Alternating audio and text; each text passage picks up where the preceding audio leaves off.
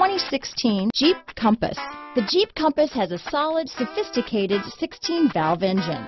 It features electronic variable valve timing that continually changes the torque curve, bringing more versatility to the 165 peak pound-feet of torque and more capability to the 172 peak horsepower. This vehicle has less than 40,000 miles. Here are some of this vehicle's great options.